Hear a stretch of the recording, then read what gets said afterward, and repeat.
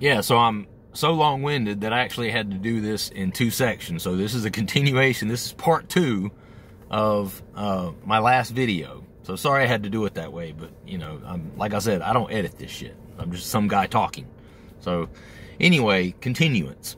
Uh, my parents ultimately decide, okay, we're not going to take him back in. We're not going to tell them that he's stolen this stuff because they were scared that if they turned me in, then I was going to catch a larceny charge or I was going to get arrested. And then they were, and I didn't have a job at this point. I was 15 years old, you know, so they, it would have ended up costing them money, you know, a court date, possibly community service, all these things, you know, criminal record. I mean, they're looking at all these things. And I remember sitting in the parking lot at that mall for probably 10, 15 minutes, my parents talking this out, sitting there trying to figure out how to proceed with this. So ultimately, they decided not to, to take me back inside. Uh, we drove back to the house. And at that point, I'm not 100% sure exactly what they ended up doing with the garments. All I know is they did not let me keep them.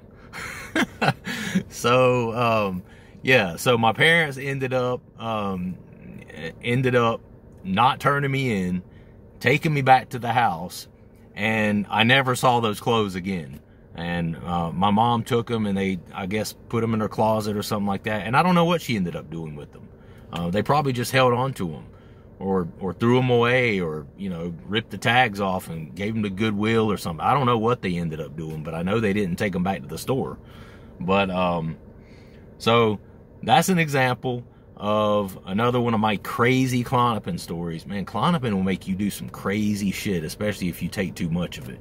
So uh, that's just another story from my uh, drug diary there. So I hope you guys enjoyed it. Uh, let me know if you've ever had any crazy stories on something like Klonopin or some other sort of drug that kind of takes you out of your mind and causes you to do something that wasn't typical for you, because I want to hear about it. So anyway, appreciate you guys. Like the video, leave a comment down below, and uh, please do subscribe to the channel. This is Cory, out. Peace.